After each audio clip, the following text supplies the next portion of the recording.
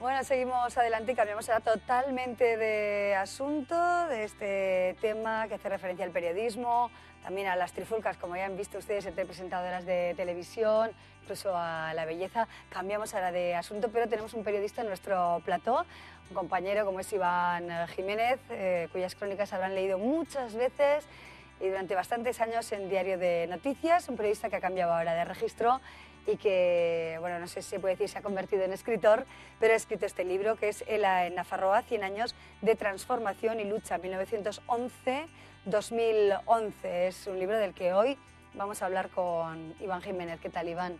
¿Cómo estás? Buenas tardes. gracias. por acompañarnos. Parece que va de periodista, es la segunda parte de nuestro programa. ¿eh? Eh, Iván, bueno, historia de ELA, ¿no? Centenario sindicato y todos sus entresijos en estas páginas, en este, en este libro, ¿no? Bueno, ¿qué podríamos destacar sobre todo del nacimiento del sindicato hace nada más y nada menos que 100 años? Sí. Eh, bueno, pues el germen de este libro es la celebración del sindicato que el año pasado, en 2011, celebró sus 100 años desde que se fundó y su traslado a Navarra. ¿no? Eh, teníamos el trabajo por hacer, el trabajo pendiente de, recopilar la historia de él en esos 100 años en Navarra, que era una cuestión que estaba sin, sin trabajar, la verdad. Y bueno, pues desde que se, se, me encargó este trabajo, ir recopilando notas históricas del sindicato en Navarra hasta hoy, pues el resultado es este libro, ¿no? que al final pues pues hemos buscado, hemos encontrado, que hemos tenido la suerte de encontrar, nos han ayudado mucho, muchas personas y el resultado pues está aquí. ¿no? Desde luego, eh, mil y un detalles ¿no? de la historia del sindicato, mil y un historias, datos. Es un trabajo importante ¿no? que ha hecho nuestro compañero Iván. Eh, Iván, mm, hablamos de 100 años, pero en 1931 realmente se puede decir que nació ELA aquí en Navarra, ¿no? Sí, en realidad el primer documento oficial registrado en el archivo de, asociaciones del gobierno civil es de 1931, ¿no? Las agrupaciones de Pamplona y de, Estella. Pero lo cierto es que eh, hay documentos y testimonios pues, que nos dicen que ELA ya estaba en Navarra en 1912, por ejemplo. ¿no? Eh, en Pamplona en concreto. En 1914 en Puente la Reina, en los años 20 participó en varias huelgas, por ejemplo, el periódico, hablando de periodistas, ¿no? La Voz de Navarra, dejó de salir varios días en el año 27 porque hicieron huelga los trabajadores de talleres, que eran afiliados de, Solidaridad de Trabajadores Vascos, que era el nombre de la época. ¿no? Claro, no estaba, claro, la STV, ¿no? Eso es. Eh, no estaba registrado como tal en la delegación de gobierno, o si estaba, esos registros se han perdido, que esa también es otra, otra historia, pero él lleva 100 años en Navarra, eso es eh, pues indudable, ¿no? Sí, eh, las voces protagonistas del sindicato en Navarra, supongo que tienes mil y un testimonios, ¿no?, de las personas que iniciaron la andadura de, esta central sindical aquí. Cuéntanos un poco. Bueno, pues lo más no sé, satisfactorio. Lo que a mí más me ha llenado ha sido hablar con gente, ¿no? Con gente sobre todo muy mayor.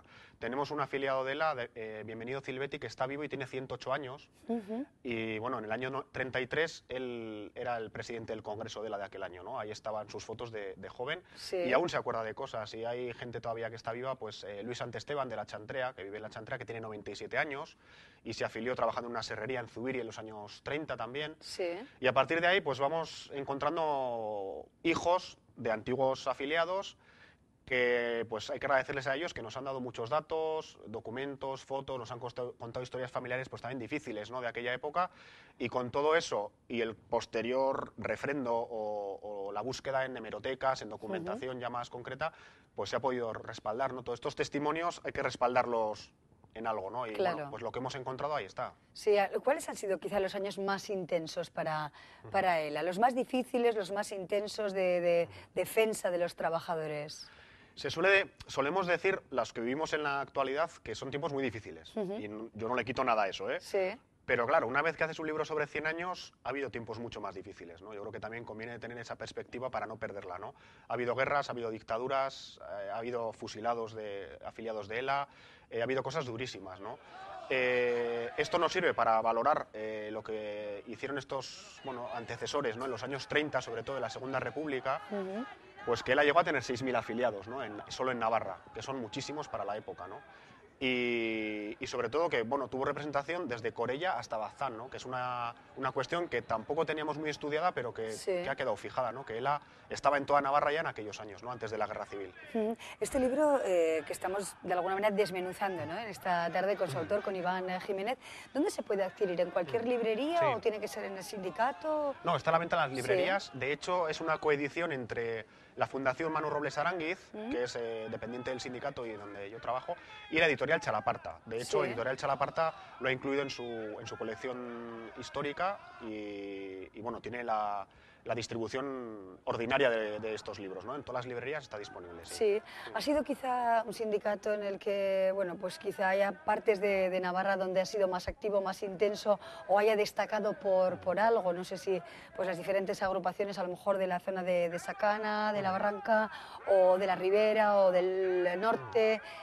¿Hay alguna peculiaridad hay, así, hay muchas curiosidades, ¿eh? sobre todo en la época de la Segunda República, ELA tenía mucha presencia, bueno, pues en lugares normales, donde había más población, Pamplona, Estella, quizá.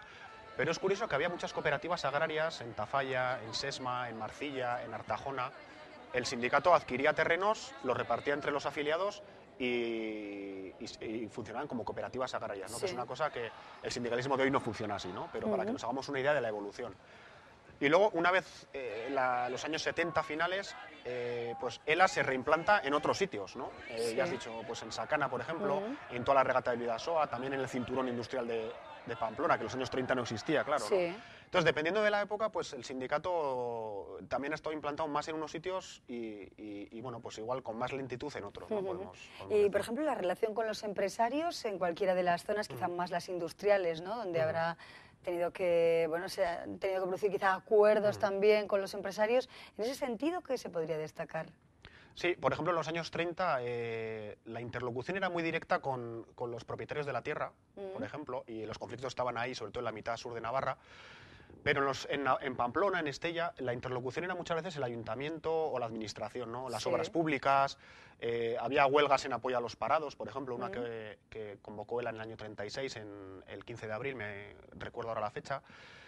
Y claro, eso cambia en los años 70, 80, 90, cuando la interlocución más directa son eh, como tú dices, los empresarios, ¿no? ya el sindicalismo está más enfocado a la empresa, a la afiliación en la empresa, a la negociación colectiva, la, la, negociación de las condiciones salariales, laborales, la jornada, que es algo pues, que es más de estos últimos 35 años. Supongo que también, eh, o supongo no, eh, desde luego en el libro se cuentan eh, bueno, pues, historias relacionadas con las huelgas, con los primeros de mayo y también con la presencia, por ejemplo, en la administración, ¿no? y fotos muy interesantes ¿no? de huelgas de hace unos cuantos años de reuniones de, ELA, pues en los 70, en los 80... En fin, mil y una historias, ¿no, Iván? Sí, hay dos cosas que a mí me gusta siempre destacar cuando hablo del libro. Una es que en realidad es la historia de los solidarios, ¿no? de, los, de los afiliados de ELA. ¿no? Yo no soy historiador, yo soy periodista y yo creo que al final esto es un reportaje largo. O sea, yo estaba acostumbrado a escribir en un periódico y esto es como un reportaje detrás de otro, ¿no? Eh, hay entrevistas intercaladas que yo creo que a la gente también le ayudan a, a situarse. Sí, sí. Y luego además está la cuestión de los datos, ¿no? que si eres periodista siempre te preocupa, oye, en tal año cómo estaba la representación sindical, ese año en tal sector cómo estaba la cosa. ¿no? Y esa es una labor que bueno, es costosa, hay que ir a la hemeroteca, hay que mirar mucha documentación, pero yo creo que contextualiza muy bien en el año 78, en el año 86, en el año 91, nos parece que nos acordamos de las cosas, pero no, ¿no? Al final hay que ir al dato y hay que contextualizarlo todo, ¿no? Y comparar o, compaginar esas dos cosas, ¿no? La historia de las personas, pero ponerlas en su contexto exacto, ¿no? Yo creo que es un trabajo que es de lo que más me ha preocupado. Sí, Iván, la verdad es que antes de despedirnos me ha llamado la atención, mientras ojeaba también eh, el, libro, ¿no? Eh, como cuenta Olatz eh, Sorozábal, ¿no?